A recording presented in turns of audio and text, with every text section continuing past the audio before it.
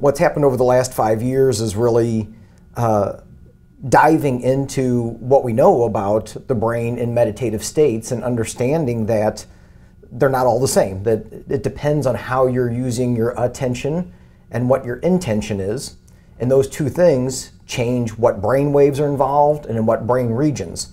And so when we understand that information, then we can be much more directed about what we're actually trying to do. Boom, what's up everyone? Welcome to Simulation. I'm your host, Allen Saakyan. We are at Consciousness Hacking's Awakened Futures Conference. We are now going to be talking to Jeff Tarrant. Hello. Hey. Thanks for coming on the show. Thanks really for having appreciate me. Appreciate it. Very Yeah. excited. So you're the founder of the Neuromeditation Institute. Yes. And neuromeditation is the application of brain-based principles to meditation practices. And you've you interestingly have taught me that all meditations generally fall into one or more of four categories: focus, mindfulness, quiet mind, and open heart.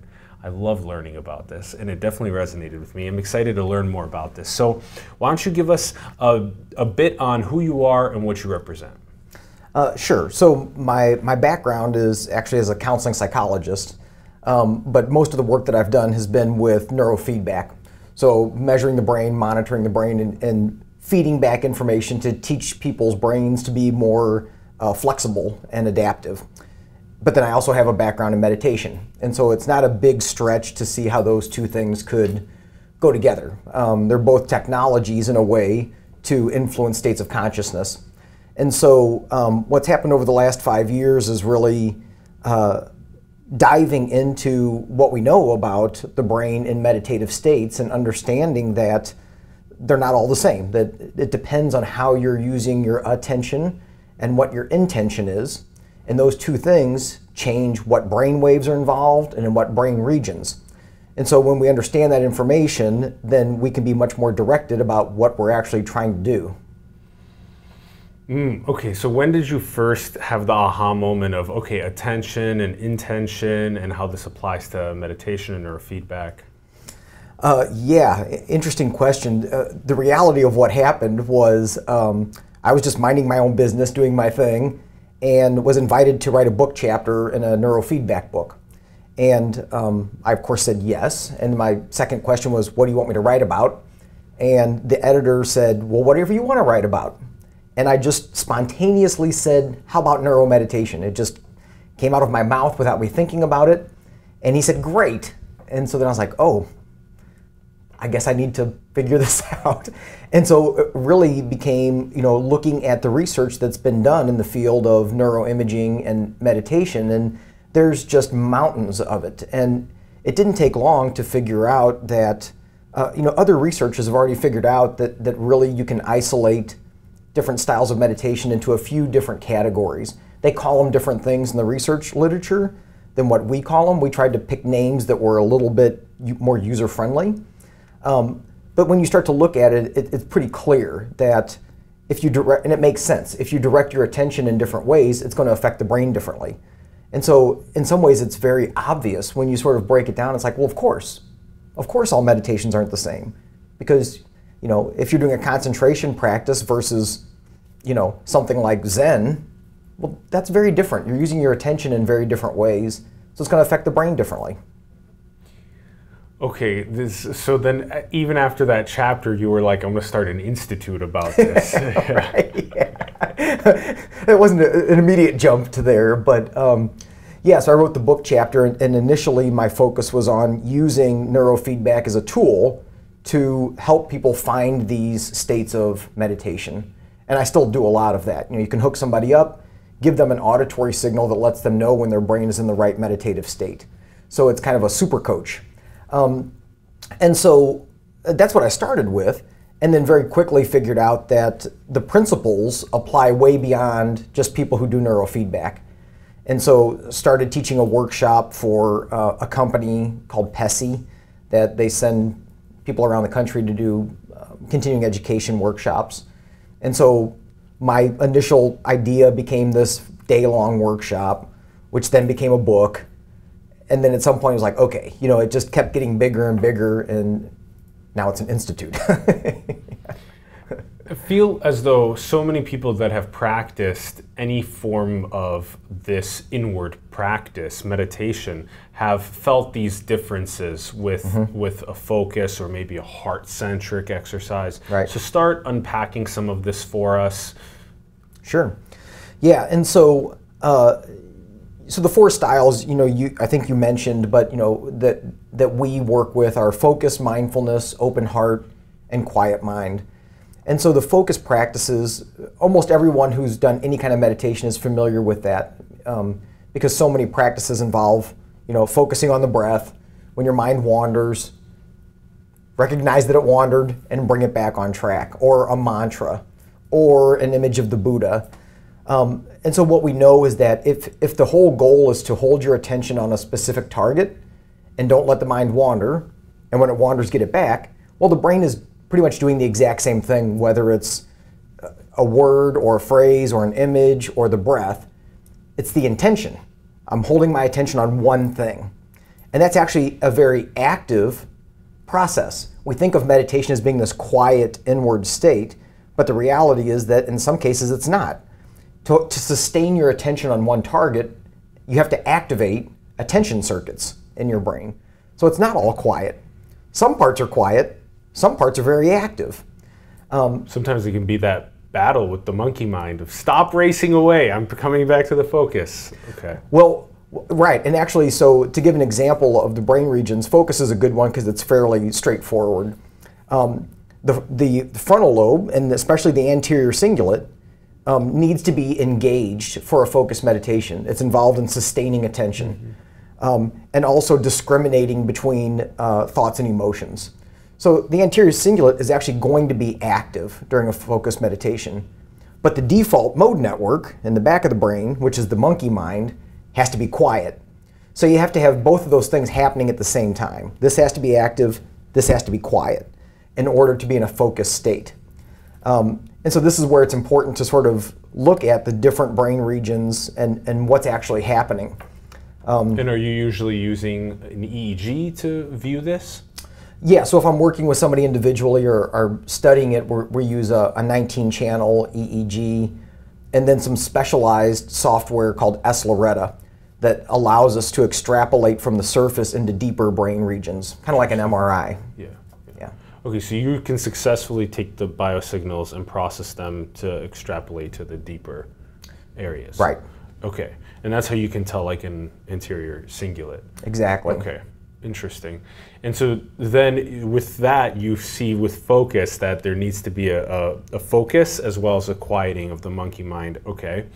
And then there's so many other ones as well. Okay, mindfulness, quiet mind, and open heart. Does Right. it how there's some overlap with that focus and quiet mind r- a little bit? Um, actually, it's interesting No. that you went to that. Well, um, there is. Um, so this is what I've found really interesting. You know, the more you look at this, you start to see how they work together and the similarities and the differences. So um, with focus, you're you're holding your attention on one thing. With quiet mind, you're holding your attention on no things. Um, and so it, it's basically the same. So th- with focus, this is active, this is quiet. With quiet mind, this is quiet, and this is quiet. Yeah. So you basically drop this. Yeah, You yeah. keep this, drop this. And so a lot of traditional transcendental meditation practices start with a focus. They start with a mantra as a focus meditation to settle the mind and quiet things down. And over the course of the meditation, you let that focus go and you end up in this quiet, spacious awareness.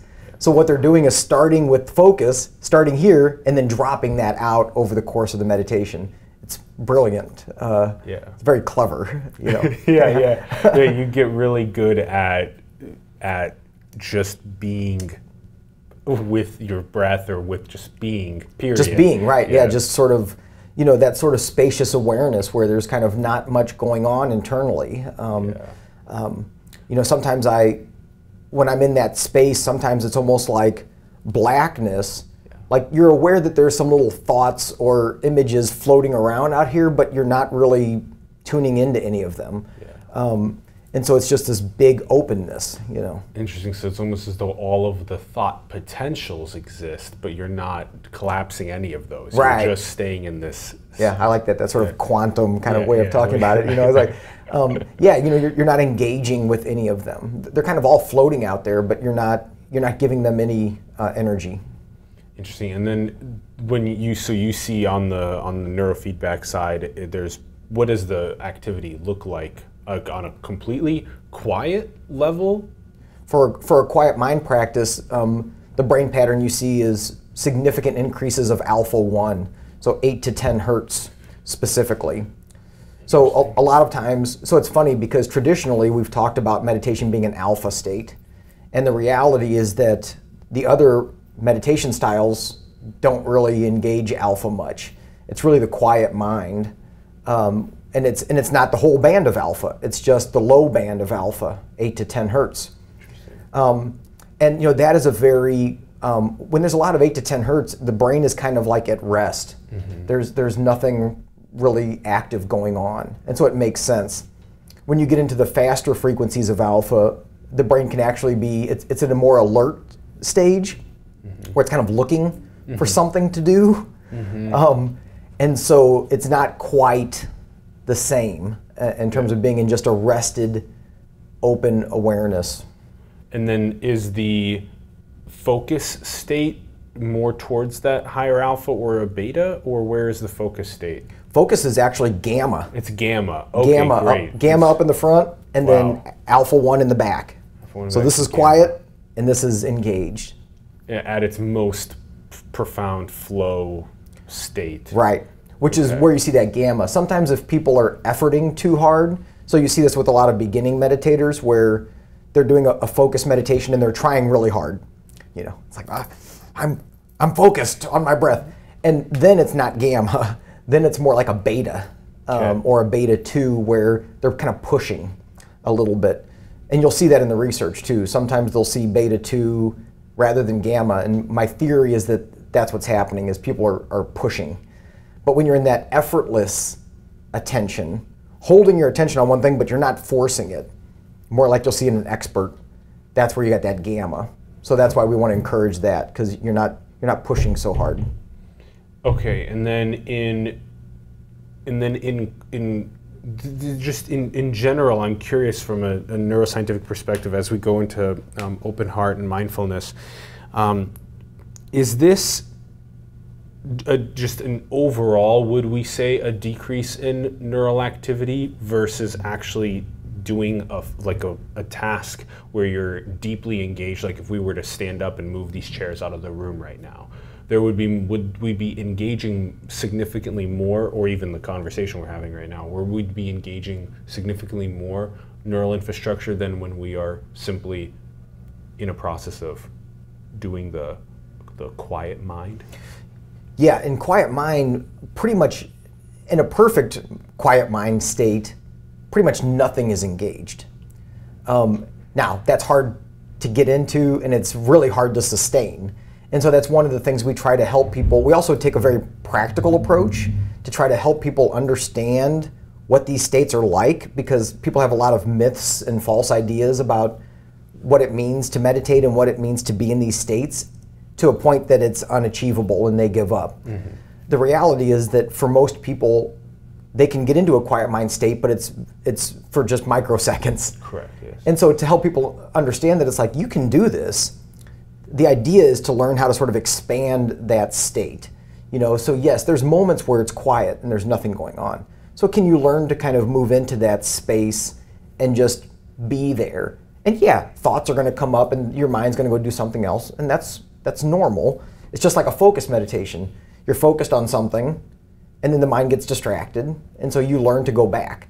Well, in quiet mind, it's like the mind can be quiet and empty, and then it gets distracted, and you go back. Um, and so, but in that state, yeah, not much is going on. The whole brain is pretty darn quiet.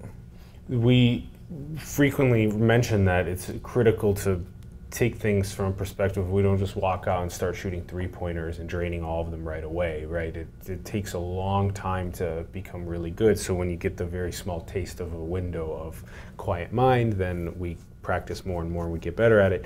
You, is there is there also a uh, like a, a, visible reduction in the amount of glucose that the brain is consuming as well? Yeah, and I haven't looked as carefully at you know the studies with glucose metabolism or brain blood flow patterns, things like that. Mostly because my area is in EEG. Yeah. Um, okay. But yes, in general, when you have an increase of alpha, especially alpha one, uh, you have a decreased, you know, uh, brain blood flow, you have decreased glucose metabolism.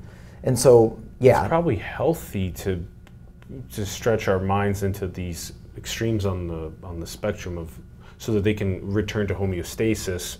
But it's yeah, and just to experience different states of awareness in general rather than just a simple like 99.99% of the time just being in that state of I'm engaged with something all the time. Right. Yeah. Yeah. Okay, so let's let's unpack some of the other states. Mindfulness. Okay. Yep. Okay, so. And so mindfulness, we're you know obviously that's a, a hot term at, at, the moment, you know, and sort of everybody's talking about mindfulness.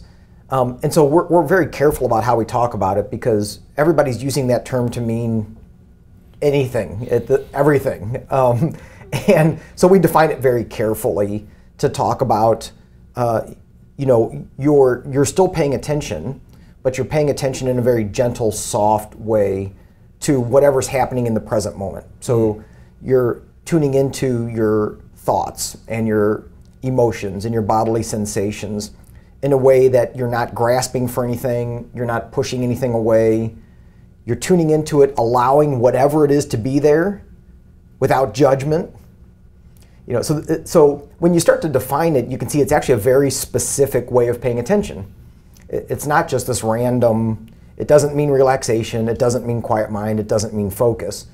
And so, you know, we use the definition that Jon Kabat-Zinn uses, uh, who, you know, the founder of mindfulness-based stress reduction, and it's also consistent with the research that they define it as open monitoring. In the research, you'll often hear them use that term, open monitoring. Same thing. And this is another problem. You look at the research, and people are using all kinds of terms to mean kind of the same thing. and so you have to really dive in to see, well, what does that mean when they say open monitoring? And when they define it, it's like, well, that's that's mindfulness. So we are using the term mindfulness, but we're very careful to define what that means.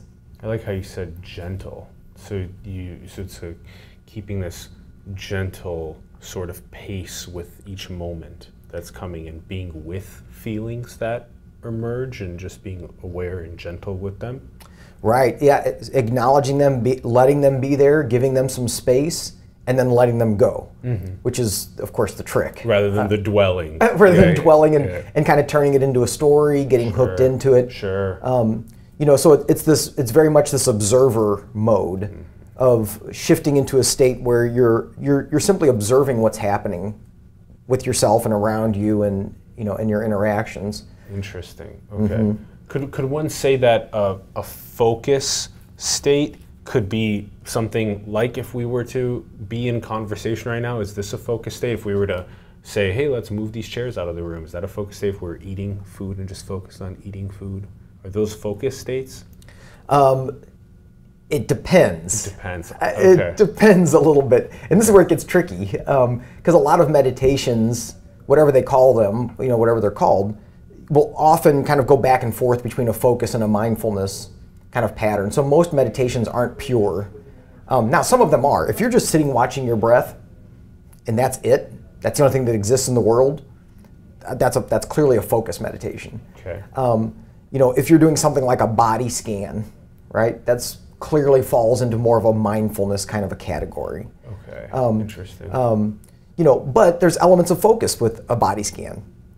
You know, you're paying attention to your toes, you know, but it's it's kind of the way you're paying attention to it.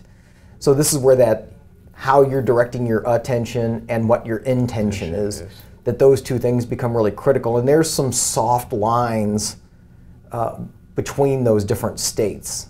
Um, in fact, what a lot of people will do with a mindfulness meditation is they begin with the breath, and then when the mind wanders, You know, they go and kind of explore that. Oh, interesting, my thoughts are doing this. Oh, interesting, my body's doing this.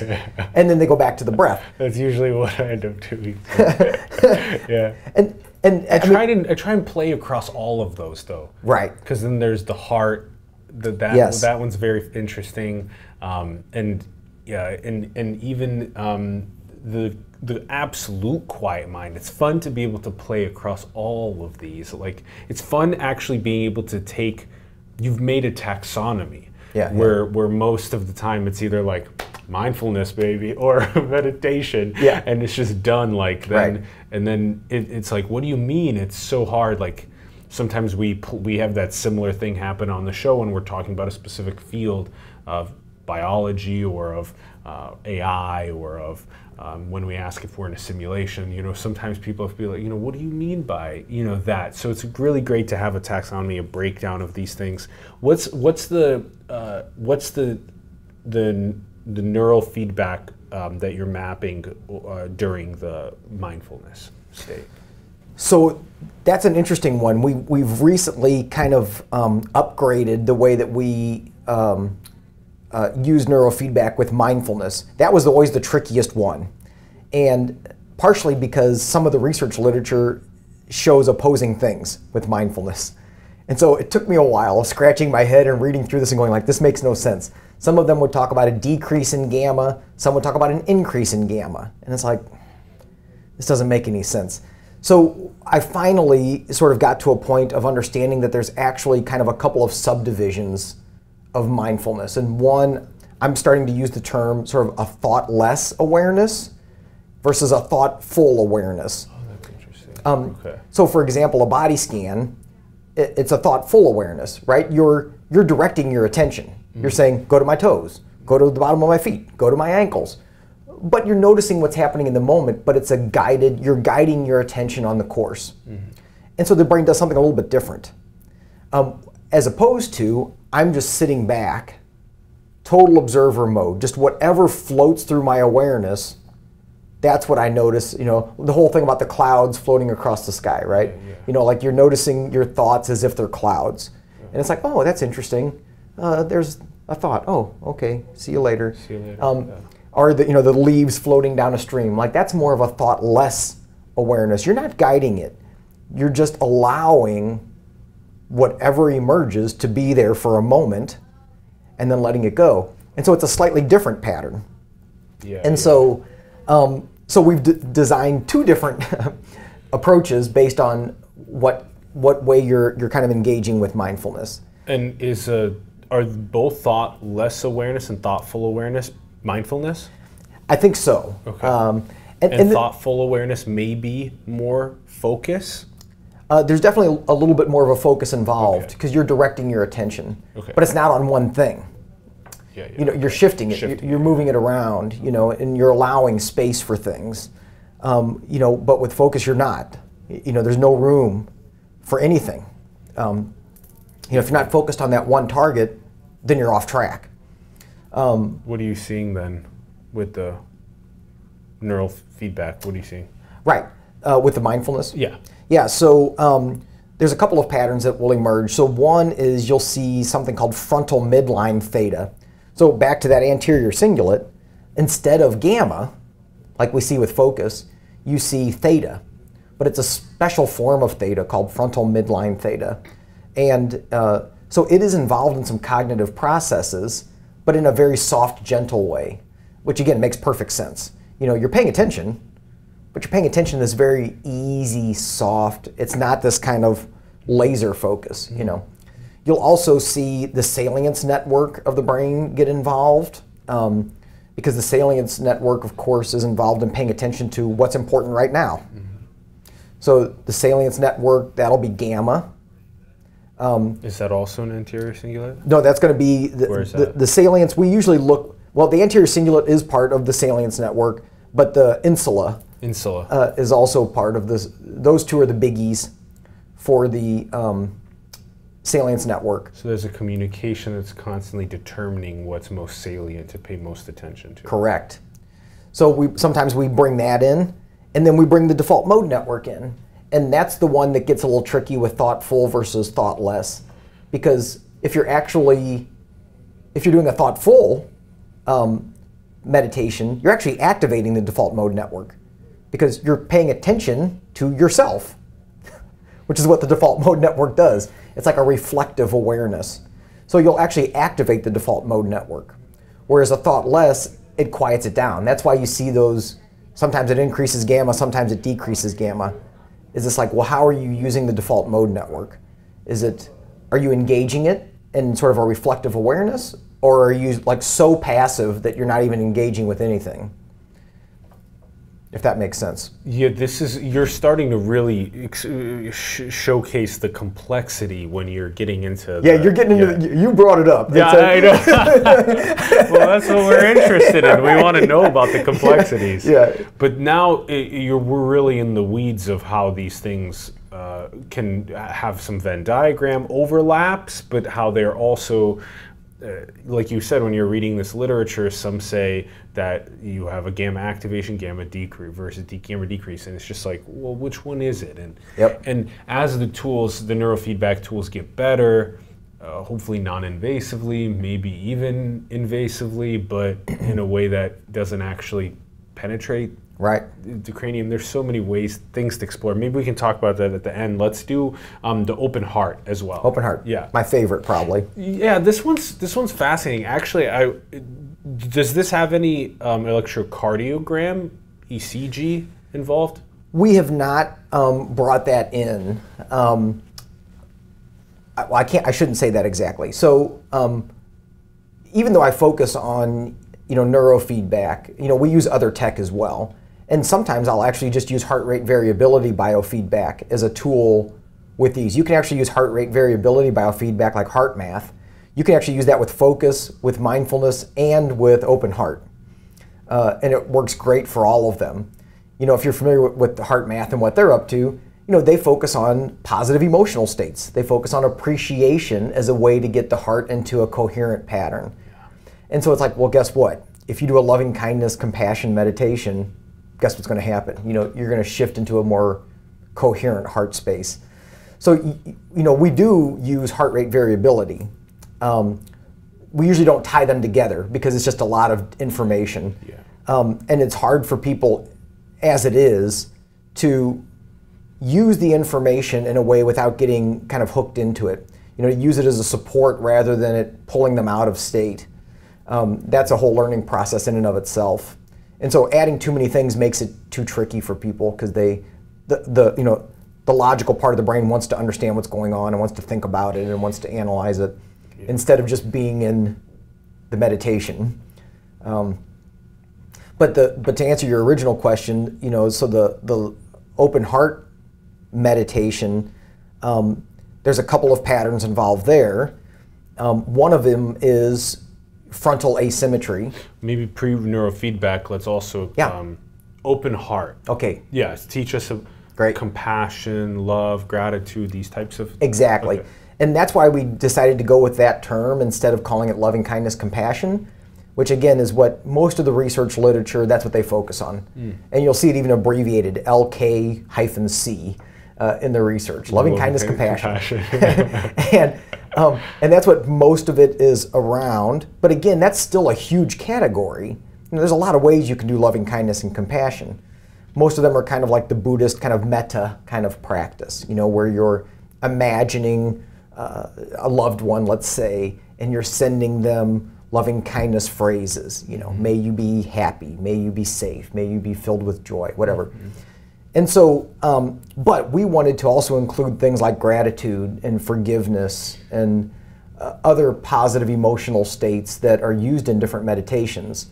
Because the reality is, again, you know, if you're if the intention of the meditation is to activate a positive emotional state and then do something with it, send it to you, send it to myself, send it to the world, the brain pretty much is doing the same thing. And so we don't have to get so specific and say, oh, well, metta is different than gratitude. It's like, nah, mm, not really. Like we can actually target a couple of different patterns and they're all going to do a similar thing.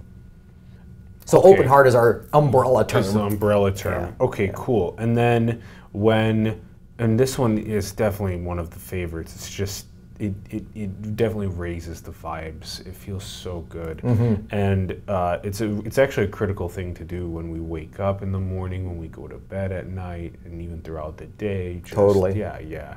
Okay, so then what are we seeing on the neurofeedback side of things? So there's two patterns that we really look at. One is the frontal asymmetry, and so it's a well-known uh, pattern. Richie Davidson actually was a pioneer with this, and he's at the University of Wisconsin and has done a lot of brain imaging with the Tibetan monks. Works with the Dalai Lama, and some of his earlier work was focused on looking at activation patterns, left versus right in the front.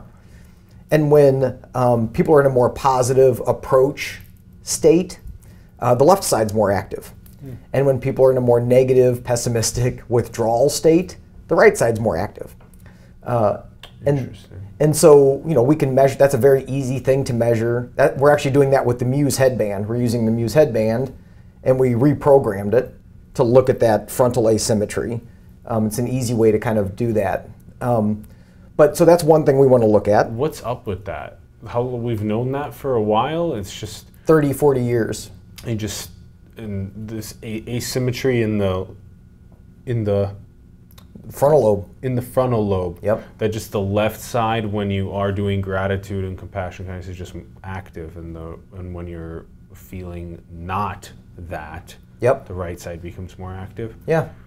Well, and so, you know, everybody's got a different baseline. So, you know, you can measure somebody's baseline, and if they tend to be more depressed, you're going to see that right side just at baseline be more Yeah, more sure, high. sure. And and people who are always happy, if you measure them, they're going to be hanging out on the left.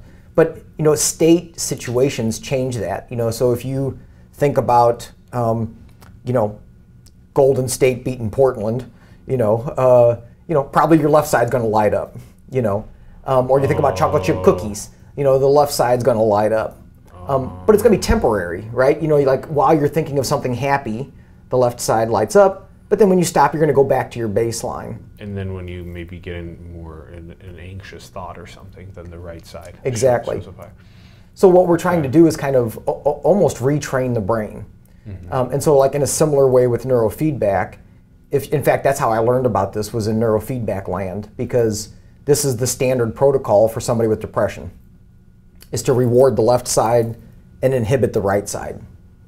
Wow, and that can be done now with transcranial stimulations as Right, well. exactly. Uh, Transcranial direct current, that's one of the main protocols. You put the anode on the left, you put the cathode on the right, and it's doing exactly the same thing. So, Wow. so yeah, there's a lot of different technologies that that can do that. we can we can is that is that is this becoming more and more mainstream to to to figure out ways to suppress that um, that right side and, and activate that left side of the frontal lobe Yeah. Um, you know, and for me, what's important is that now there is research showing that simply activating the left can have positive effects. For me, it's it's important to tie it to a gratitude practice or a loving kindness because this is the issue I think we get into sometimes with tech, using tech with meditation, is making the mistake of thinking that just because you're increasing gamma, for example, that that's putting you in a higher state. And it's like, well, you know, elevated gamma is also associated with Alzheimer's. So it's like just because you're raising your gamma doesn't necessarily mean you're an expert meditator. You know, it's like it has to be in the context. It has to be in the right context. tied in with some of the open heart Exactly. umbrella okay So even though the research does show activating the left seems to be a positive thing, um, think about it this way. So the left side can also be activated for, for any kind of approach motivation. So moving towards something. So if you think about it that way, actually being angry and aggressive could actually activate the left sure because you're, you're, you're moving towards something, you're approaching something yeah for me, it feels really important to tie them together. Um, that the tech isn't a substitute; it's a it's a tool, uh, it's a supplement uh, to assist in the process. But you still have to get your own mind in the right place. Okay, a couple power round thoughts. Um, first is, um, what else did you see on neurofeedback on Open Heart? Yeah, the right insula. So we talked about the salience network, but um, the insula is also involved in um, emotion uh, as well as empathy. And especially the right side, because the right side is a more body based. Mm. So, like when you feel something in your body, so you know, like when your heart is activated, you feel it in your heart, mm. that's the right insula. Uh, the left side's more cognitive. The left side's more like you're thinking about a feeling. Mm. the right side's more like you're feeling a feeling. So we, I usually want that right side. You know, that's where the magic happens. If people can activate that right side, I mean, you'll, you know, I've had this happen many times in workshops where people are just like crying, and I'm like, I always feel, I'm like, uh oh, you know, are you okay? And they're just like filled with joy, you know, and they're like feeling it, and so it's really intense, you know. Um, and so if you can get that going and then keep it going, so that's the other biggie. Is keeping it going. Is it is it really that this kind of black and white between right insula being more on the feeling the deep emotion and empathy, and the left side being more about thinking left insula? I, I mean, I've seen it pretty much clear as day, you know. Um, It's so crazy thinking about something as complex as the, you know, billions of neurons in the brain being so black and white potentially on a left insula versus a right Yeah. That's so crazy. I'm, I'm sure there's wiggle room, you know, but Yeah. but literally, if I'm monitoring somebody's brain while they're doing a meditation, and I'm monitoring the two insulae at the same time, and you see what, what's happening there, I can pretty much tell. Um, you know, if the lights, if the left side's lit up and the right's not, um, and I interrupt them and I go, "What's going on?" and they describe what's going on, it's it's a cognitive process. Yeah, yeah. Um, yeah. You know, and if the right side's lit up, you know, you know they're into it. They're, in the body. they're in the body. Yeah, yeah, feeling deep. Yeah. right. Okay. Okay. Um, okay. Some other um, power thoughts on the way is. Okay, what are you what are you doing with um, the Neuromeditation Institute? So people come in to a physical location and then work with you. Teach us about that. What's what's happening? Sure. Actually, we do a few different things. We um, we're doing a lot of classes and workshops. Um, At, at your physical so- location some of them are our physical location. we also is- do them which is in Eugene, Oregon. in Eugene, Oregon. Right. Okay. Cool. Um, we also do um, workshops at other places. So um, uh, I just got back from Majorca. Uh, we did a workshop there. Where's that? Uh, it's in Spain. It's an island off the coast of Spain. Sweet. Yeah. Uh, So you do kind of uh, workshops uh, in different places around the world that people Right. come to as well. exactly. Okay. Yeah. Hoping to do one in San Francisco soon. Cool. Let's make it happen. Right. Let's uh, do it. Let's do it. Yeah. Uh, you know, going to Germany in October. So we, we do a lot of classes and workshops. Um, and then, yes, work with individuals. Um, and so the individual work can take a lot of different forms. Um, typically, uh, it will involve some form of EEG monitoring and coaching. So it's uh, for me, it's it's a two-step process. Like, yes, we're using technology, but you know, I'm also kind of serving as a meditation coach at the same time. So it's like they're getting information, but then I have to find out like, so what's going on, and connect it to what I'm seeing from the EEG, so that I can say, try this. It seems like you're getting stuck on this thing over here. Try this. Let's see if this works better. So the idea is not that they have to come in and get hooked up every time they meditate. The idea is for them to learn what it feels like to be in the right state, Yeah. the state they're trying to get into, so that when they go home and practice, they kind of know what they're looking for. Yeah. And then to come back and refine that. Um, you act as the closed loop feedback Right. that they're getting to make the iterative change that they need to get to the states that they want to get to. Right. And then what about the, uh, the the the feedback that comes in for them uh, to potentially um, take you also out of the equation that they can then have a, a feedback like a like the Muse system where they have a, a visual cue or an audio cue that that shows them oh you have the the the thunder is striking and and the birds are the doing their thing. chirping. right? yeah, yeah, and it tells you if you're focused or if you're not on the parts that you're supposed to be. Right. So, so let me just clarify. Are you asking like what kind of feedback I give in session, or like what they do, can use at home? Let's do both. Okay. Yeah. Um, So we, I use um, predominantly, I use a music track as feedback, so I can link the volume of the music to their success. So we'll play some ambient background meditation music, right? That's not overpowering. It doesn't have a strong rhythm, um, but it's kind of supportive of a meditative state, kind of like we just did this morning in the mm-hmm. in the cacao ceremony, right? There's this, you know, certain music can kind of help you, um, but then and so it's always playing. But if your mind's wandering and you're off track, the volume's really low, and so that's your cue, like, oh, I'm not, I'm not on track. And once you get into the correct state, the volume increases to a certain level. So again, it's your cue, like, oh, I'm there. And so what happens then is, as soon as the mind wanders, uh, for example, that music drops out, and that's an instant cue. Mm-hmm. They're like, oh, what, oh, what happened? And then, are you manually doing this, or have you already made the algorithms that can just detect it and then cue the music to go down or up in volume? Right. It's a little bit of both. So I have to determine where to put the thresholds for whatever I'm monitoring. Okay. And so that I have to do manually because everybody's different. Um, you know, if we looked at your brain versus my brain, they're going to behave differently because we're different people. So usually in the first couple of minutes, I can figure out where to put the thresholds, and then I can just leave it alone. Because you know, really, what we're wanting the person to do is learn how to get into those states. So I don't want to keep moving the thresholds around.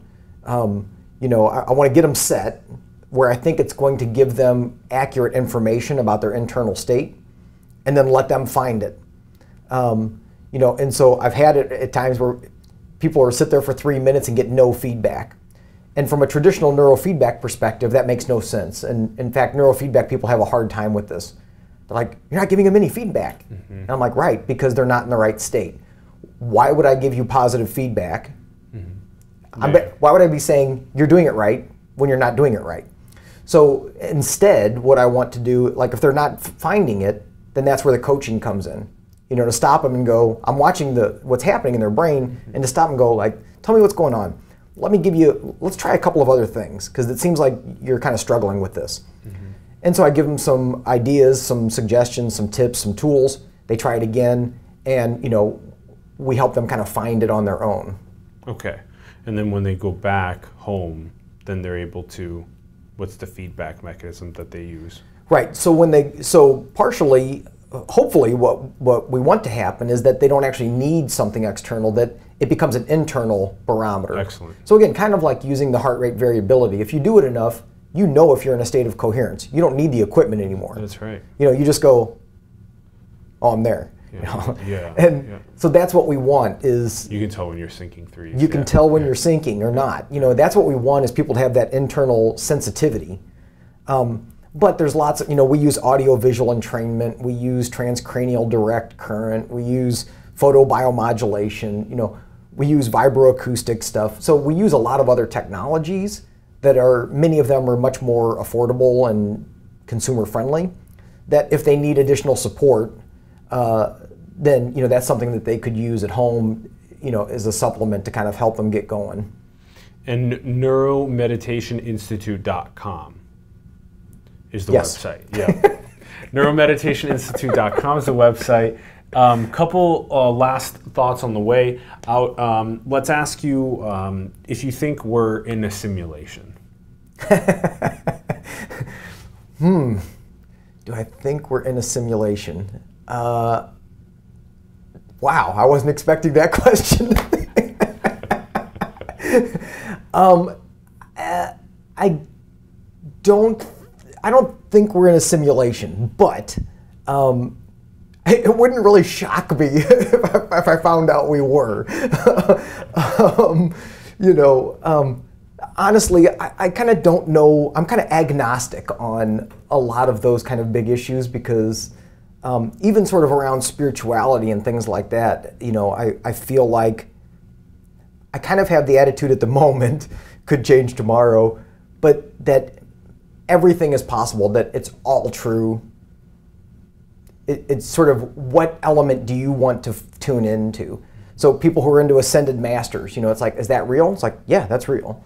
You know, is that real for me? Well, not really, but that's not how I'm oriented. But that doesn't mean that that's not true. Mm-hmm. I mean, the universe is a big place. Yeah, which which angle you look? Which angle do you want to look at? at it? Yeah, Uh, yeah, yeah, and so I don't know. I have no idea. I don't even know how to answer your question. How about what's the most beautiful thing in the world? oh, wow, the most beautiful thing in the world.